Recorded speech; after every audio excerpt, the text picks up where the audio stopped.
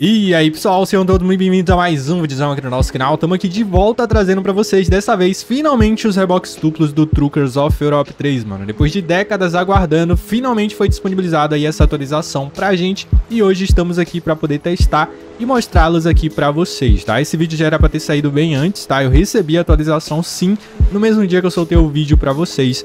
Porém, eu fiquei um pouco meio desanimado pra poder gravar, fiquei sem muito ânimo, então decidi gravar depois, né? Mas é como dizem, antes tarde do que nunca, pelo menos estamos aqui hoje mostrando pra vocês. Atrasado, mas estamos aqui. Inclusive, desculpa a galera que foi aguardando aí, mano. Infelizmente, eu não tava com muito ânimo pra poder gravar, então decidi gravar depois, beleza? Aí o nosso primeiro reboque, que a gente tem dois reboques disponibilizados aqui pra gente. Sim, infelizmente apenas dois reboques. Um deles é esse daqui, que é como se fosse um reboque lonado, tá? Eles têm as laterais aqui lonada e a frente aqui o teto de alumínio. A gente tem esse tipo de reboque aqui no Brasil, porém não nesse estilo aqui, obviamente é um pouquinho diferente do que a gente tem aqui no Brasil, tá? Mas é exatamente desse jeito aqui o, o baú, digamos assim, né? A carcaça ali do baú. Então, como eu falei para vocês, a gente tem dois tipos. Eu vou mostrar para vocês aqui o outro reboque que a gente tem também disponibilizado. Infelizmente foram apenas dois disponibilizados pra gente, poderia ter vindo muito mais. Pelo menos eu esperava que viesse mais reboques, tá? Mas só vieram dois, infelizmente. A gente não sabe quais são os planos aí da banda Software, mas é o que eles liberaram pra gente, pelo menos vieram aí os reboques duplos, né? O primeiro é esse daqui, que é o que eu acabei de mostrar para vocês lá fora. A gente tem três opções de chassi, de personalização de chassi aqui nos reboques, tá?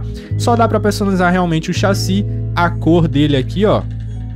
E também dá para colocar skin e modificar as rodas, tá? Não dá para modificar a iluminação, não dá para colocar acessórios, nem nada do tipo. Somente são essas personalizações e a das mais legais delas aqui é realmente você alongar ainda mais aqui o reboque traseiro, que é esse último reboquezão aqui, tá? O primeiro lá na frente, ele não alonga, somente o último. Então a gente tem três opções de chassi para ele, que é o curto, que é aquele que eu estou utilizando lá, o médio e o reboque longo, que é esse gigantão aqui, que inclusive tá meio complicado de rodar nas vias com esse último aqui, tá?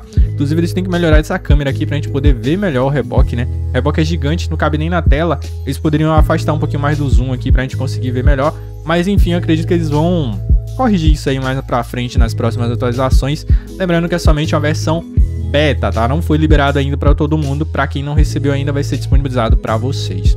O outro reboque que eles disponibilizaram pra gente é esse outro aqui, que ele é um pouquinho diferente daquele primeiro que a gente tem lá. Um pouquinho, um pouquinho, um pouquinho. Porque ele muda somente esse último reboque aqui, ó, o último engate. Esse último engate, ele é um baú frio, tá? Ele é um baú de carga fria. Vocês podem ver ali ó, que tem um equipamento ali de refrigeração do baú. Então só muda exatamente isso. Dá para personalizar também. A gente tem aqui três opções também de chassi. A gente pode colocar o médio, igual o outro. E pode colocar também o longo, que fica gigantão. Eu achei um reboque meio esquisitão, né? Eles poderiam ter trazido um outro diferente, ou então ter trazido dois reboques de carga fria e não um de carga seca, junto com um de carga fria, que ficou eu achei que meio esquisito. Obviamente isso aqui tem na Europa, tá? Mas eu achei meio esquisito pra gente aqui do Brasil. Eu acho também que eles poderiam ter colocado outros tipos de reboques duplos, como por exemplo, principalmente esse reboque aqui de carga de madeira, que tem muito na Europa, tá? Inclusive eles têm até de carga tripla, isso aqui tem um reboque triplo desse daqui, que dá para carregar madeira. Eles poderiam ter trazido também, mas infelizmente os caras não adicionaram. Não sabemos o porquê, não sabemos dos planos da Wanda Software, mas enfim, eles disponibilizaram somente esses dois reboques, tá, rapaziada? E justamente só tem essas personalizações que eu acabei de mostrar para vocês. Vamos testar aqui agora um pouquinho da física do reboque, como que ela tá funcionando, para que vocês possam ver mais ou menos como é que tá, tá? Já antecipo para vocês que a física do último reboque que esse reboquezão lá de trás, ela tá meio bugada. Por quê? Ela fica escorregando às vezes, fica deslizando, tá? Poucas pessoas vão ter percebido isso. Para quem já conhece física de caminhão, para quem já jogou principalmente o Euro Truck Simulator 2, vai perceber que a física do último reboque lá ela tá meio bugada, ela fica deslizando acima do normal, que não era para poder estar tá deslizando. Principalmente atrapalha um pouquinho quando você vai manobrar de ré, tá? Isso não ocorre somente com esse reboque aqui, mas também com todos os reboques do jogo, porém poucas pessoas perceberam. As únicas pessoas que perceberam que eu vi relatar esses problemas foram apenas duas pessoas que relataram lá na aba de bugs, tá? Isso a galera já comunicou isso antes, nos outros reboques também. E nesse daqui tá atrapalhando muito mais do que nos outros, porque reboque duplo exige uma certa precisão no último reboque, senão você não consegue manobrar, tá? Porém, poucas pessoas vão perceber essa questão aí. A maioria não vai nem querer manobrar isso aqui de ré, porque vai dar trabalho pra caramba, exige muita paciência e tá muito mais difícil devidamente por causa desse problema que fica deslizando um pouquinho a traseira lá atrás, tá? Não é sempre, acontece às vezes. É como se tivesse passado um sabão no último reboque lá e aí ele fica deslizando mais do que o normal, principalmente se você tiver em alta velocidade também. Mas em alta velocidade a gente até entende, né? O problema todo é quando a gente vai realmente manobrar de ré aqui o reboque, que aí complica totalmente, a gente não consegue manobrar de jeito nenhum. Em alguns momentos ele vai estabilizar esse deslize, mas na grande maioria das vezes vai ficar deslizando, vai ficar sambando para um lado e para o outro sem necessidade nenhuma. Principalmente se estiver em velocidade alta, vocês vão perceber que ele vai ficar deslizando um pouquinho mais que o normal, tá? Se você clicar um pouquinho no freio mesmo, ele vai dar uma jogada para os lados e tudo mais, mas não é sempre, tá? Eu espero que eles melhorem isso para poder facilitar um pouco mais a, a manobra com ele. É, é muito fácil manobrar, pelo menos eu consigo manobrar no Eurotruck. Aqui eu achei um pouquinho mais complicado do que no Eurotruck por conta desse defeito que tá tendo aí no último reboque. O primeiro reboque tá tranquilo, tá dando para manobrar de boa, tá? Mas esse é um problema que eu já tinha visto também nos outros reboques, nos menores, mas os menores é simples de estacionar, porém o reboque duplo é como eu falei para vocês exige aí um pouco de precisão para poder estacionar e isso vai dificultar bastante para a galera, principalmente para quem não tem costume de, de estacionar os reboques duplos, né, e tudo mais, porque dá realmente bastante trabalho. Então a galera que realmente não sabe vai sentir mais dificuldade do que o normal, tá? Eu achei bem mais dificultoso. Inclusive algumas curvas, ó, vocês pisarem no freio aqui, mesmo não correndo muito, o, o, último reboque lá ele vai terminar deslizando, muitas das vezes ele vai capotar e vai puxar o seu caminhão junto, tá? Obviamente aqui eu já tô a milhão, mas em alguns momentos que você tiver uma velocidade razoável, ele também pode chegar ao ponto aí de dar uma capotada, beleza? Então tem que ter cuidado aí, tem que tomar cuidado com isso daí. Mas o reboque tá bem bacana, rapaziada. Comenta aí embaixo o que, é que vocês estão achando dos reboques duplos. Eu achei bem interessante, só achei que realmente faltou eles trazerem mais reboques aí pra gente. Eu achei que eles iam trazer um reboque de cada. A gente tem bastante reboque dentro do jogo, então tinha a possibilidade deles trazerem muitos reboques aí pra gente, tá? Pelo menos um duplo de cada um. Vamos, vamos levar em conta que não dá tanto trabalho isso aqui, tá, rapaziada?